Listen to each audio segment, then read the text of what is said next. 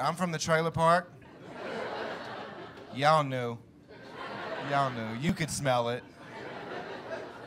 I know what I smell like used Skoal cans and unwanted pregnancies. You know what I smell like. We called my mama the white trash tornado growing up.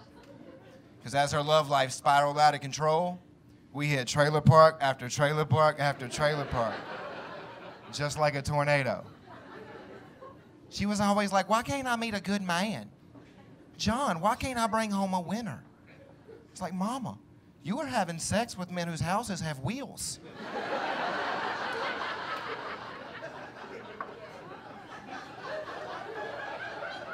Their homes can be repossessed.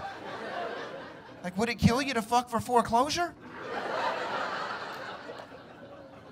We're bringing home lot numbers, Mama. Let's try a physical address and see what happens.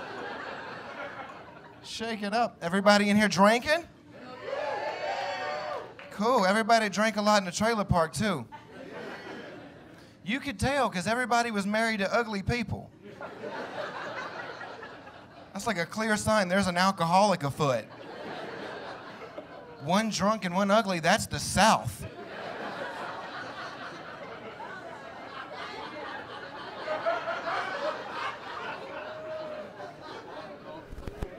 Had one dude, he brought a girl over to my trailer, and to put her into perspective, she looked like the Crypt Keeper.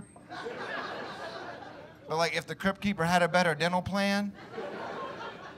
He, he brought her in my trailer, and she was butt naked.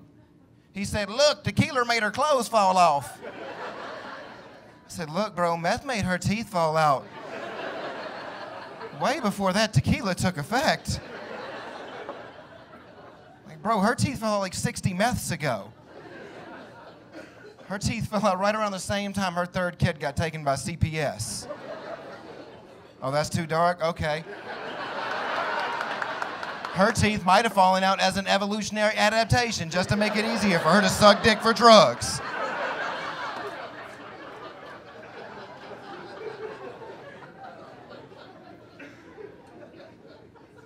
I noticed some weird stuff on my last trip to the South. I noticed that rednecks are starting to vote Democrat. I know, I was shocked too. I know, because I saw a Confederate flag, but it was on a Prius.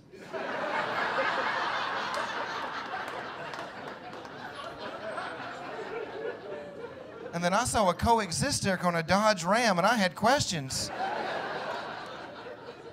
then I was doing a show in Statesboro, Georgia, and I said, I'm, said, I'm from the trailer park.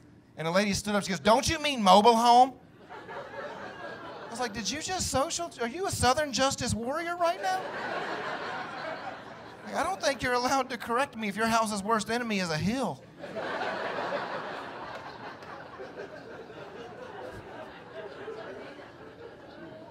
It's not gonna be long though for rednecks figure out they can get offended too.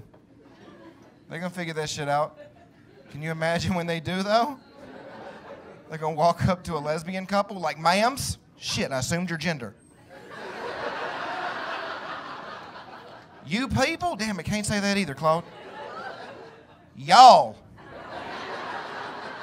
Gender neutral word. Y'all are appropriating my culture.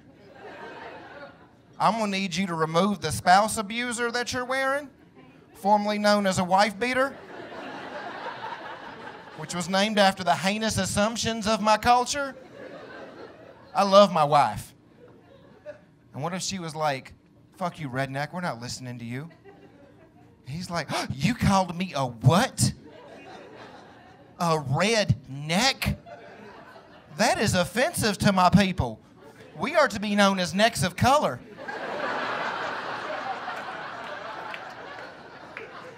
And if you're going to say it, don't use the hard R.